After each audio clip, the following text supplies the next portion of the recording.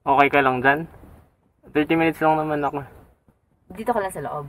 Oo, hindi na ako lalabas. Ma-experience lang yung riding dito. Okay, tapos bill tayong dinner after.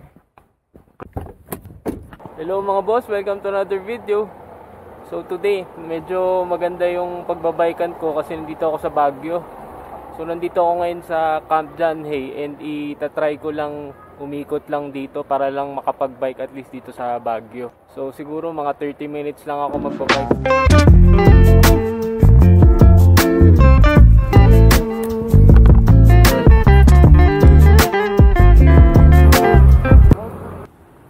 Try nyo din dun sa may kwan, umakyat ng buntot dyan.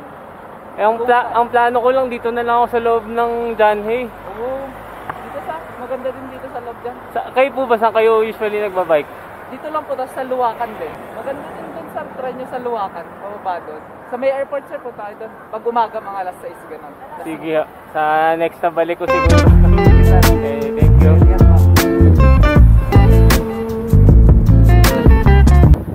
Original plan ko kasi talaga today is gagawin ko yung loop na usually ginagawa ko dito sa Baguio pag nagra-run ako dati. Pero since medyo pressed for time na, mag-iikot na lang ako dito sa Camp John Hay. Dito pa lang hinihingal na ako simula pa lang.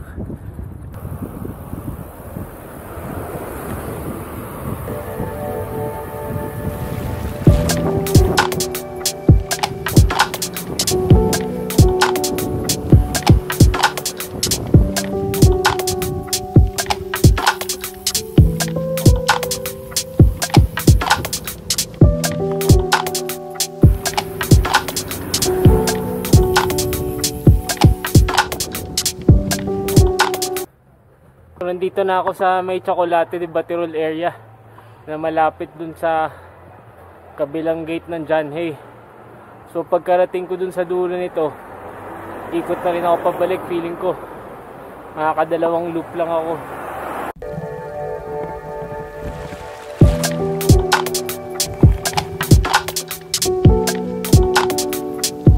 Nandito na ako sa kabilang gate, sa gate 4.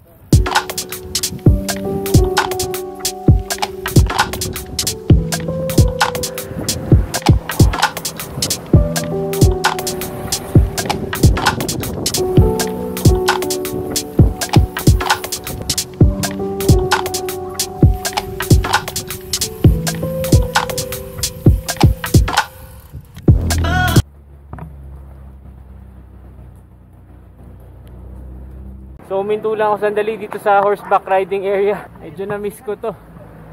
I think siguro yung last na sakay ko ng kabayo siguro nasa almost 10 years ago if I'm not mistaken.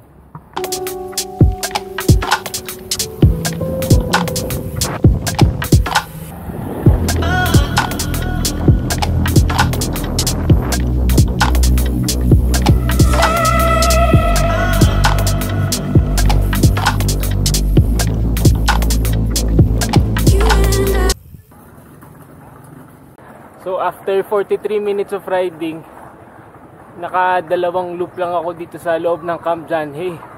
Grabe yun, yun yung isa sa pinaka mahirap na nagawa kong ride. Hindi ako sure if dahil ba wala akong masyado sa kondisyon or talagang mahirap lang kasi grabe yung ahon dito.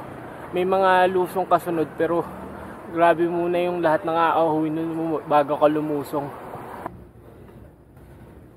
So anyway, gamit ko nga pala yung bagong Richie na water bottle ko. Abangan nyo lang, magpapa-giveaway ako nito for Christmas. And i-discuss ko na lang yung mechanics. Okay ka lang? Sorry, sabi ko 30 minutes lang, naging 45 minutes ano flavor sa'yo? Meal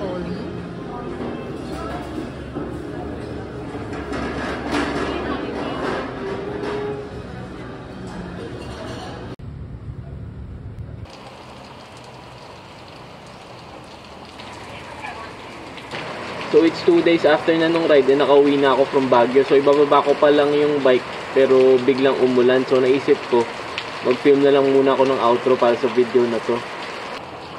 Kung nakikita nyo, ang dami kong tela na nilalagay for protection ng bike kasi wala ako nung bike rack sa likod. And dito ko siya nilalagay pa ngayon sa loob ng kotse. Anyway, I'm really happy kasi nakapag-bike pa rin ako sa Baguio as planned. Plan ko kasi talaga is mag-ride ako sa loob ng John Hay. Pupunta ako ng teacher's camp and pupunta rin ako ng country club kaya lang hindi na nga nakalabas.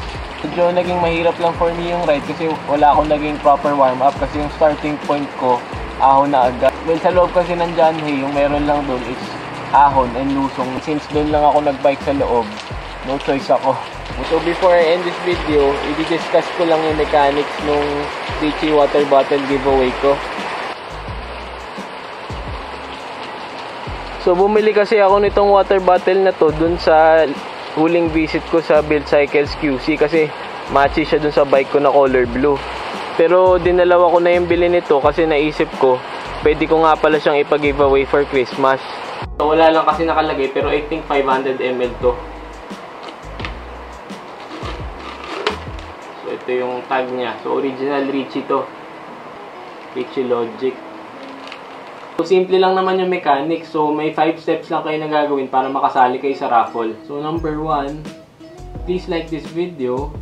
Number 2, please make sure that you're subscribed to my channel.